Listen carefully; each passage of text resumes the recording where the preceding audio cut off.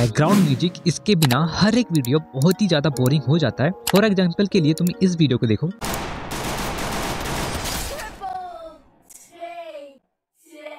और अब इस वीडियो को देखो।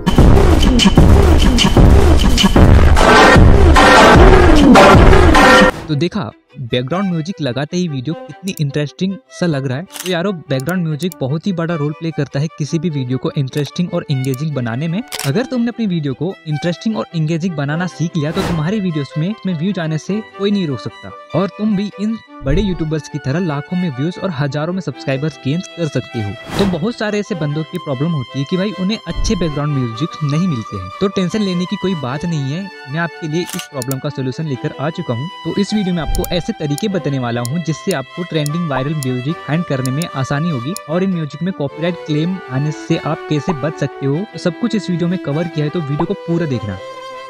वायरल बैकग्राउंड म्यूज़िक को फाइंड करने का पहला तरीका है यूट्यूब। यूट्यूब में आपको ऐसे चैनल्स को फॉलो करना है, जिनसे आपका चैनल का निच मैच करता हो। जैसे कि Hakai TV, Zoro F F TGR एनर्जेट ब्रदाज वाईटी अरुसुदन वाईटी ऐसे बहुत सारे क्रिएटर्स हैं, जिन्हें आप फॉलो कर सकते हो, और आप इनकी लेटेस्ट वीडियो या फिर वायरल वीडियोस के बैकग्राउंड म्यूज़िक को आप ले सकते हो, और उन्हें आप अपनी वीडियोस में यूज़ कर सकते हो, और इससे आपको कोई भी दिक्कत नहीं होगी। दूसरा तरीका जानने से पहले आपको इस वीडियो को लाइक कर देना है, और चैनल को सब्सक्राइब कर लेना है क्योंकि आपको इस चैनल पे और भी ऐसे ही कंटेंट देखने को मिलने वाली है। तो बढ़ते हैं दूसरे तरीके की तरफ़। तो आपको यूट्यूब पे सर्च करना है ब्राजीलियन पॉन्ग आपको ऐसे ढेरों सारे बैकग्राउंड म्यूज़िक देखने को मिल जाएँगे जिन्हें आप यूज़ कर सकते हो। और ये वही युगी म्यूजिक्स है जिन्हें हकाई टीवी ज़ोर एफ़ और भी काफ़ी सारे क्रिएटर्स इन म्यूजिक्स को यूज़ करते हैं। लेकिन इनमें एक प्रॉब्लम है कि इनमें कभी भी कॉपीराइट क्लेम आ सकता है। कॉपीराइट क्लेम से बचने के लिए आप क्या कर सकते हो? पहले लिखो ब्राजीलियन पोंग उसके बाद आपको लिख देना है आइडियो एडिट इतना करने के बाद आप सर्च कर दें तो आपके सामने से काफ़ी सारे म्यूजिक्स आ जाएँगी।